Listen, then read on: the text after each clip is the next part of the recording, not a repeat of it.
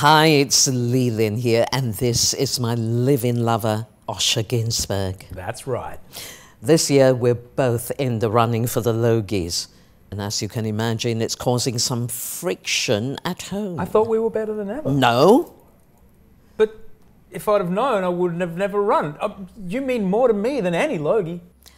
Are you saying I'm a trophy? No, no, no, no, no, no. I would never say that. But I am the greatest trophy anyone can have. What do you want me to say?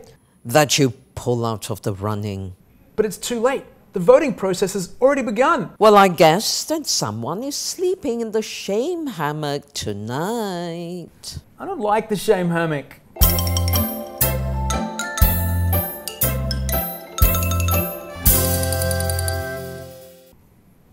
full of bees.